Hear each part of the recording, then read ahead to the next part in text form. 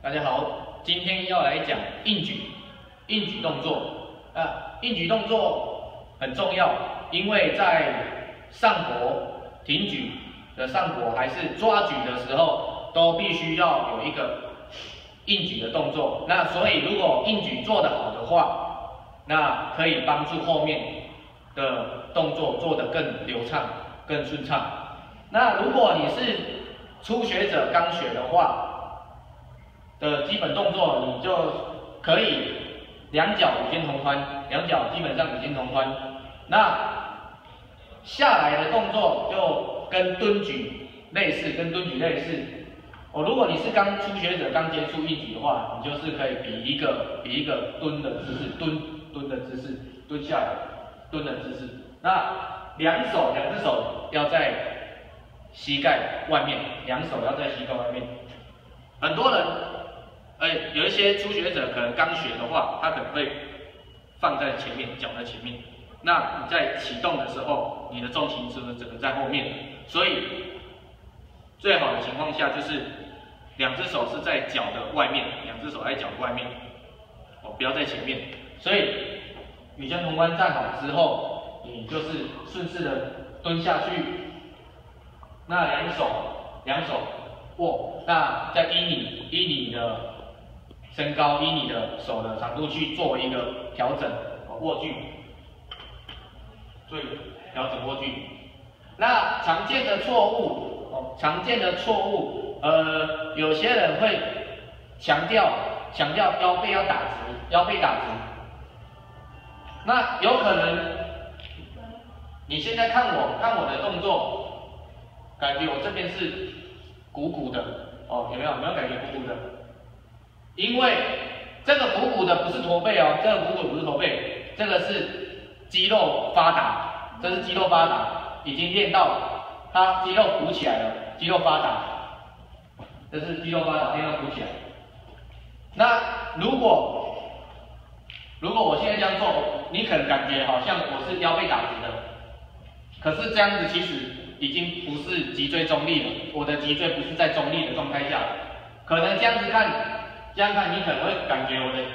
腰背是打直的，很直，感觉很直。可是这样子是不舒服，也不好的动作。因为这样这样子的话，为什么说不好动作呢？如果我用维持这个动作站站姿，我会变这样站。那这样子根本就不是在一个脊椎中立、脊椎中立的状态下，这样子根本是。不舒服的姿势，这样不舒服的姿势，所以一开始起始动作，用我们的最舒服的站立姿势下去，这样预备好，这样就这样就可以了，这样就可以了。哦，不要不要太刻意，太刻意了，去想办法去给它撑，去给它挤进去。哦，感觉哦，这样感觉很直，可是这样子已经是脊椎没有在中立状态下，这样子腰椎腰椎这边会挤进去，或者内凹会挤进去，这样子长期练下来，长期练下来，这样子腰会受伤，长期练下来腰会受伤。哦，啊对，脊椎要中立的话，一样蹲下来之后，蹲下来，哦，蹲下来，那你的腰就保持这个这个状态。哦，站直，腰保，保持状态站直。所以用你的站站姿最舒服的站姿去去出力，哦，跟蹲举一样。哦，那所以所以你要去感觉你的站最舒服的站姿的那个出力状态，去去做。哦，不要太刻意的去做，把把这个腰挤进去，把这个腰挤进去。那还有再来的常见错误就是，很多人会强调挺胸，挺胸是没错，你又没错，可是很多人的很多错误动作会变成这样，挺胸，一开始就挺胸了，这样子，哦，这样子没法拉，这样没法拉，哦，一开始就这样，这样子没法拉，哦，一开始如果你要怎么样去抓杠铃的重心，杠铃重心。重心必须要垂直在我们的手臂上面，垂直在我们的手臂上面。垂直这个，这个就是杠铃的重心落点，这个就是我们的杠铃的要掉掉的位置，重心掉的位置，所以你必须要把这个杠铃的重量压力落在这个手上，落在这个位置上，哦，落在这个位置上，落在这个位置上，落在这个手手的位置上，哦，啊，如果这样太紧了，这样子就没办法在在我们的肩胛，在我们的背上面，落点就不是在肩胛跟背上面了，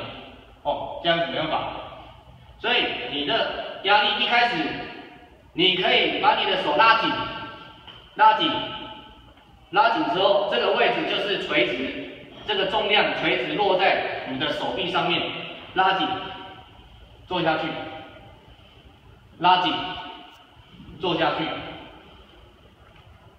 哦，拉紧，这样子这个重量才会落在我们的垂直的手上。哦，那还有一个，还有一个也是很蛮容易，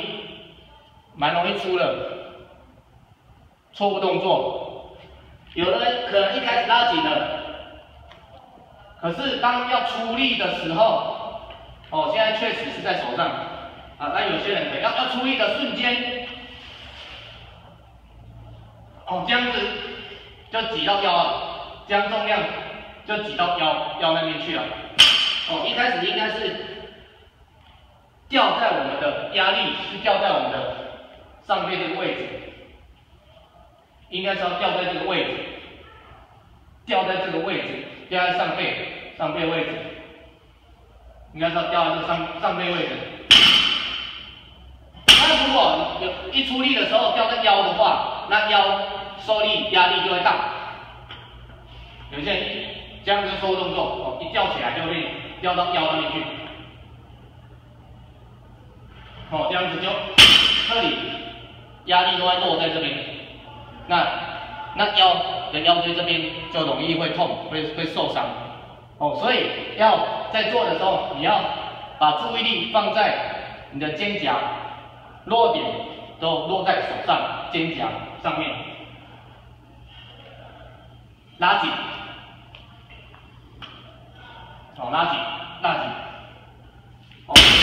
所以这些这几个常见的错误是硬举，硬举的部分会常见看到的错误，所以去修修正这几个动作，那腰也比较不会不舒服。那所以那腰的动作，动作上腰你就是保持脊椎中立。哦，不要太刻意，不要太刻意去去去挤腰。哦，可能在下面看起来腰很漂亮，